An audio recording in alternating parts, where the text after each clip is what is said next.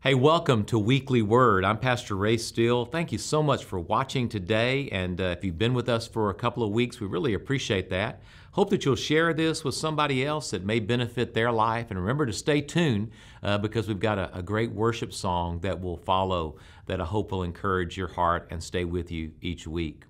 I was reading the other day in John chapter 6 in the Gospel of John, and I read what I think to be one of the saddest verses of all in the Bible. Jesus is talking, and he's talking about some very difficult things, and some difficult things really for some people to understand.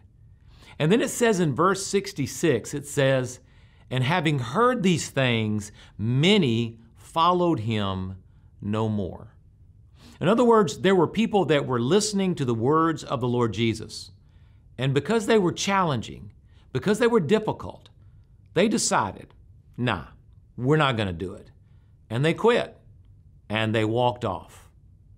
Let me ask you a question. What does it take for you to quit? What does it take for you to quit on your spiritual growth? What does it take for you to quit on the Lord Jesus and on His teaching you and developing your life? What does it take for you to quit? Jesus seeing these people just walk away, Jesus just kind of seeing them, you know, raising their hand, I'm, I'm done with this, and, and they leave. And then he looks at his disciples and he says, a powerful question. Maybe he's asking this to you. Do you want to go too? Do, do you want to quit? And Peter, in a moment of incredible clarity, says, Where are we going to go? You have, Jesus, the very words of eternal life.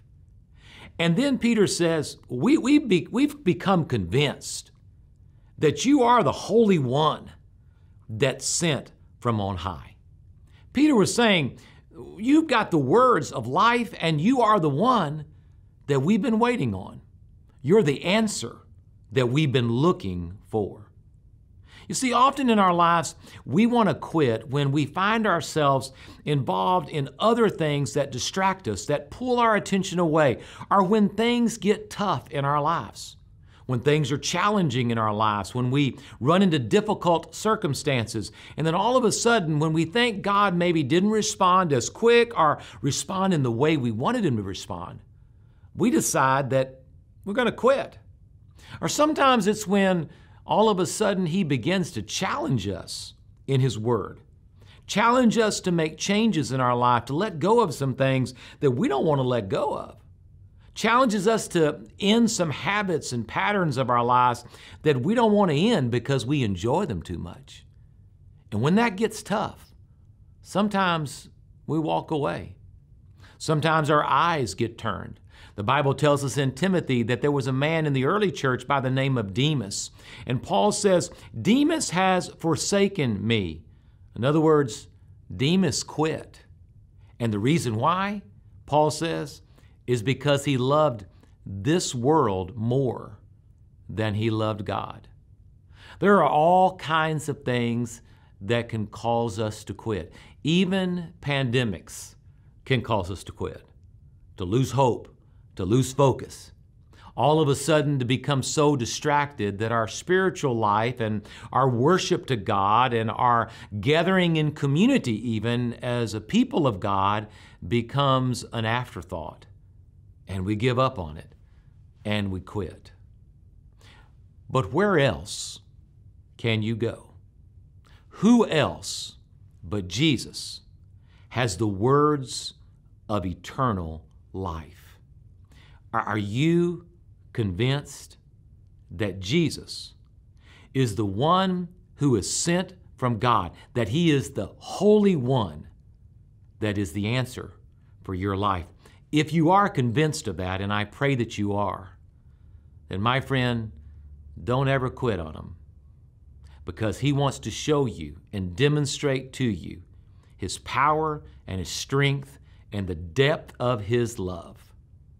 Where else can we go than to Jesus? May God bless you. Be encouraged in the Lord today and don't quit. We'll see you next week.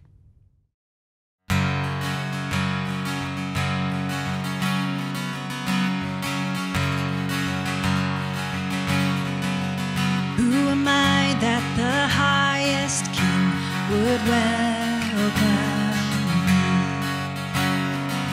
I was lost, but he brought me in. Oh, his love for me. Oh, his love for me. Who the Son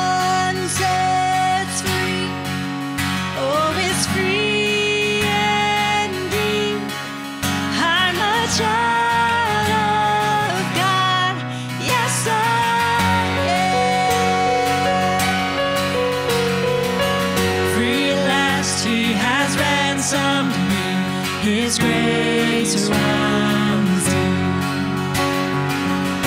While I was a slave to sin, Jesus died for me. Yes, He.